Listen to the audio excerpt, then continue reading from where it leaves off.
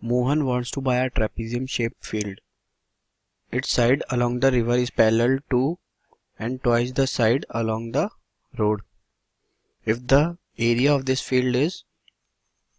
10,500 meter square and the perpendicular distance between the two parallel sides is 100 meter, find the length of the side along the river. दिया हुआ its side along the river is parallel to and twice the side along the road if this is x this is 2x so area of trapezium क्या होता है half into sum of parallel sides into distance perpendicular distance between them area दिया हुआ है 10500 half into sum of parallel side x plus 2x into distance is 100 meter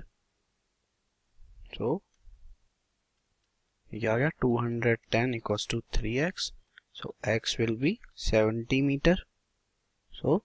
अब क्या पूछा find the length of the side along the river तो side along the river is 2x equals to 2 into 70 equals to 140 meter 140 metre. Answer गया one hundred 140 metre.